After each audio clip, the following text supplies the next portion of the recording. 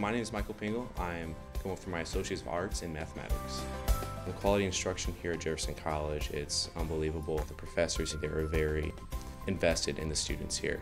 After Jefferson College, I plan to pursue my bachelor's in secondary education. Thanks to the Missouri Transfer Core 42, the classes I took at Jefferson College are guaranteed to transfer. Make Jefferson College your first choice.